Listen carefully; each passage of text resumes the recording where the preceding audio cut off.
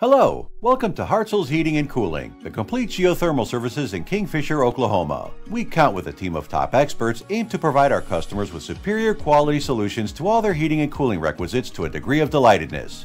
The peculiar trait that sets apart Hartzell's from our contemporaries is our client-orientedness and focus on sustainable and comprehensive solutions, from installations and repairs for geothermal system, furnace, water heater, boiler, humidifier, air conditioner, or refrigeration unit, along with our unparalleled, award-winning service.